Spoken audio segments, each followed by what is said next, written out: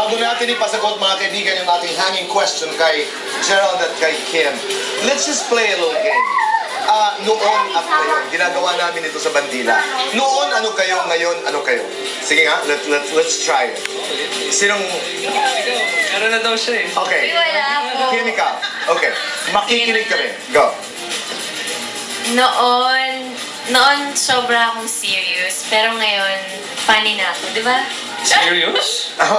Sige, sample ng joke. Meron siyang joke. Ang dami ng joke talaga. Pero dun sa dulo mo malalaman na joke pala yun. Okay. Go ahead. Sige, go. Ay, alamin mo, ba't ikaw nagulat ka nung nag-shooting po kami? Tawang-tawa po kasi Okay. siya sa akin. Ano, ah, siguro... Ah, sige, go. Gusto niyo mag-joke talaga. Sige, go. Go ahead. Sige, isa lang. Hindi mo, wala po. Kinikilig naman ako sa inyong dalawa eh. okay, go. Wala po din. Oh, isa naman, sige. isa lang. Um, dati, siguro ano, um, pag magkasama kami, parang hindi siya makapag-decide kung anong gusto niya. Parang tatanungin ko siya kung saan niya gusto kumain. Hindi niya alam. Hindi niya alam. So, Okay. kailangan ko mag-decide. Ngayon, mature, ang dami mong alam. Ngayon, Ngayon, siya na, siya na nag Siya na- Ako yan eh, ikaw. Tayo! Ay, Kung tayo ba? So Gerald, wait. Dali. Kung sinasabi mo dati ay hindi niya alam kung saan pupunta, when was the last time you invited Kim to a dinner? Kaya nasabi mo na alam niya na ngayon kung saan niya gusto pumunta.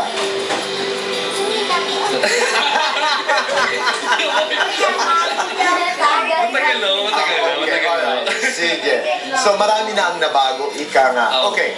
I-describe mo nga, Gerald, si Kim noon at i-describe mo siya ngayon. Para sa akin, siguro kabalik rin ng ayusin ko. Teka, ayusin mo. Uh, kabalik talaga ng sinabi niya kanina. Before, ano, um, mas, yun, lagi tumatawa, lagi, kahit sobrang mababa yung joke, tumatawa siya, tapos, Siyempre, dahil in love sa'yo eh. Na, noon, yun? Wait, wait, wait. Di ba noon? Noon yun. Ako, halimbawa, when you joke and then when you're with somebody you love, di ba? Kahit konti lang. Para matuwa ka, Ganun ba? di ba? Okay. hindi, hindi, hindi ka ba talaga natatawa sa Mali mga ba? jokes ko? Mali ba? Di ba? Totoo. Okay. Ngayon, Hindi ka ba ngayon, talaga natatawa sa mga jokes ko? Hindi masyado. okay. So ngayon, Hindi ngayon, um, siguro nung nakikita ko sa kanya, yun, mas matured na, ang dami niya ginagawa na Okay. hindi niya ginagawa dati. alright. Ikaw naman, Kim. Ah, describe mo si Gerald noon at si Gerald ngayon.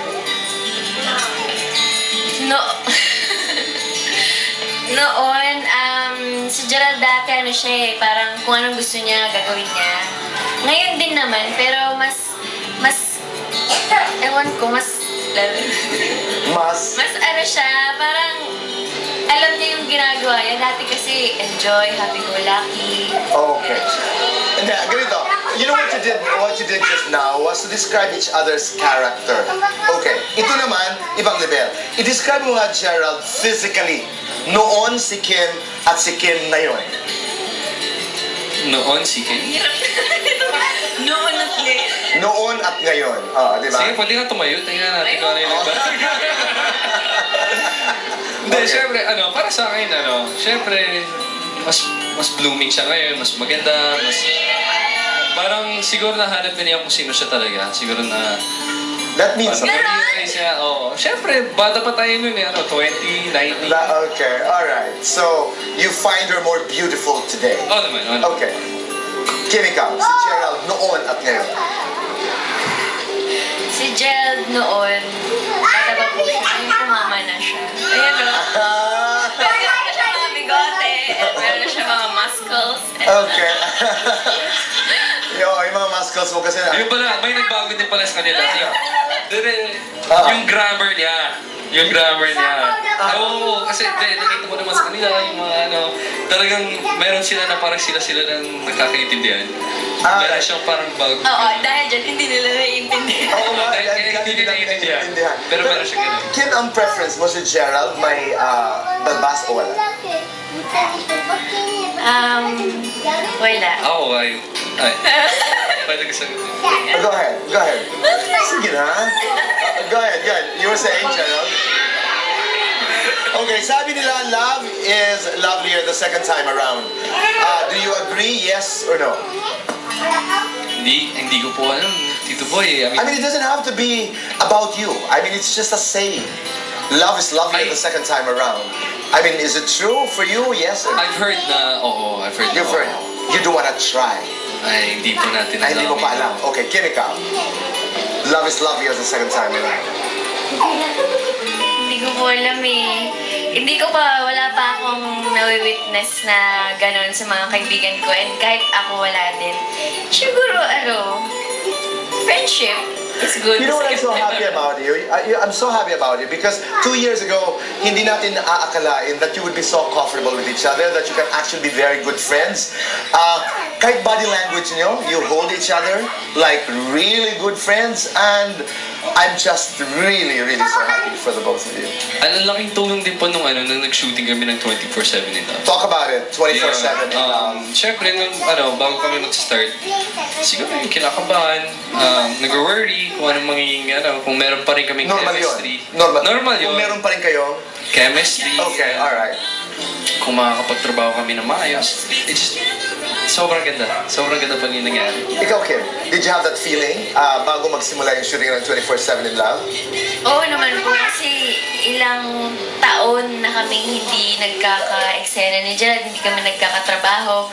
Nagkikita kami sa ASAP pero sumasayaw lang kami doon, kumakanta, nag-host. Pero Walang hindi, conversation? Oo, hindi yung umaarte kami sa harap ng camera. Tapos ginagawa namin kung ano yung nasa script.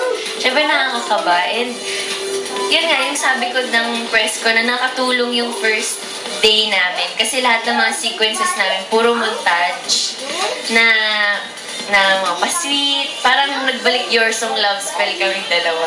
Parang, ay, 16 years old ba tayo sa ginagawa? okay, but do you guys realize that you're making a lot of people happy by doing this movie together, by coming out on the buzz together? Do you realize na napakaraming tao, mga tagahanga katulad namin, ang pinasasaya niyo? Opo, opo. Uh, Diba? actually, that was the first reason kung bakit siguro namin tinanggap to eh. Invite everyone to watch movie. Yun, sa November 21, 24-7 in love, sana po mapanood na. Si Kim Chu kasama ko doon, di ba? Kasama doon. Sa episode namin, kami po magkapag. Ayan, abangan nyo po, November 21, 24-7 in Love, pitong love story na siguradong makaka-relate kayong lahat. And this is directed by Direk May. May Cruz, si yes. Direk May Cruz, sa episode po namin. At meron po kami mga mall shows sa Abrisa Mall, Davao on November 17 at 5 p.m. At sa Market Market, Market Market on November 18 at 5 p.m. Okay. Ano yun?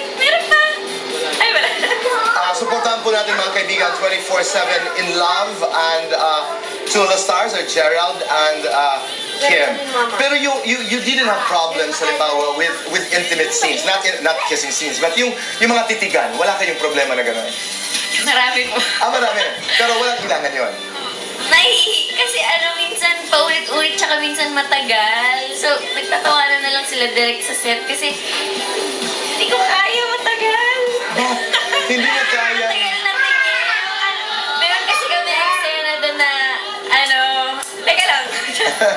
Meron kayong Meron eksena na eksena na, ano, na nag-uusap kami face to face. As in yung Close. dulo ng ilong na namin yung nag-uusap. Katulad, hindi ko maintindihan. Katulad, yung talagang close. Ah, guys, sarap na lang po kayo, November 21. And then, what happened, Kim? Tapos yun, parang, It was hard. In other words. oo. Ah, abangan natin yan. Let's wait for that scene. Alam mo, it's always important for me to ask actors what their favorite scene is. Dahil bilang tagahanga, yun ang abangan natin. Yung nose to nose na nag-uusap sila. And let's see what it looks like. Hindi ba?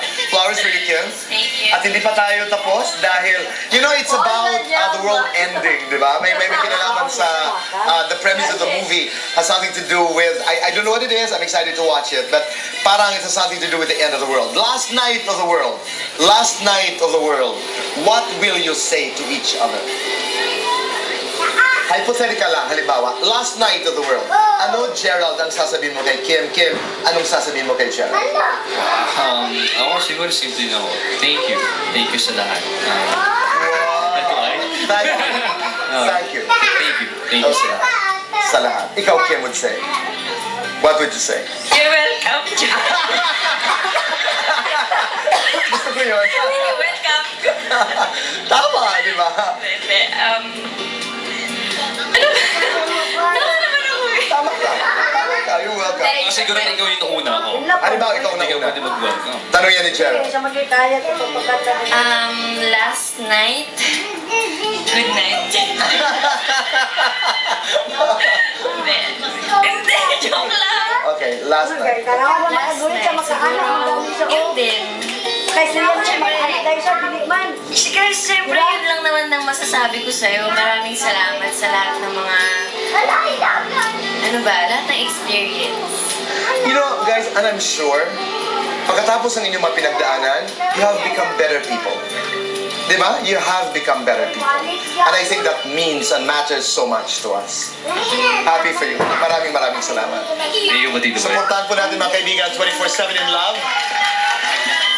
24-7 in love. Samantala. Wow, they're there forever. Di ba? Thank you. Okay. Ay, ay de las Alas, happy birthday. Janice de Belen, and of course, Deo Enginal, happy birthday. Shaina Magdayaw, happy birthday. Gabby Concepcion, my friend Susan Cobb, Pure Gold. Leds Kainhinan, happy birthday. Coco Martin, November 1, happy birthday. And Boyso, of course, of uh, La Carmela de Boracay and Sir Boy's Food Republic.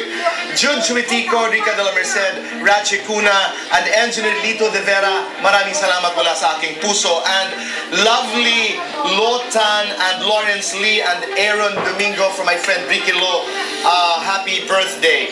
Marley Aquino, Traffic Shoes, Boyso, Dr. Steve Margan, Dr. Marian Paikalayan, Susan Copurgo, Jeff and Vina of Astoria Plaza, Mega C, Glupa, John Boner, Kinsa McDonald, D Squared 2, and happy birthday to Job, Nikki McCollum, Nikki McCollum, and Addie Sullivan, Renzo Lichalco. And this coming Thursday, mga I'll be at the Adamson University for their second nursing congress.